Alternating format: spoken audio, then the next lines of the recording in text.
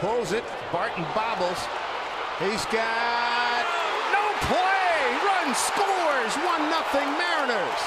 Indecision costly to Daric Barton. And the Mariners lead it 1 nothing.